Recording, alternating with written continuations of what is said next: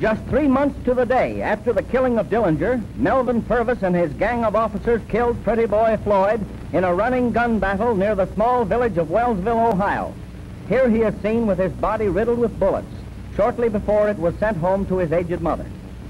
Thus sorrow fell again on another humble home. 1934 was a banner year for the Department of Justice under the leadership of J. Edgar Hoover. In Chicago, Babyface Nelson was shot in a running with G-men.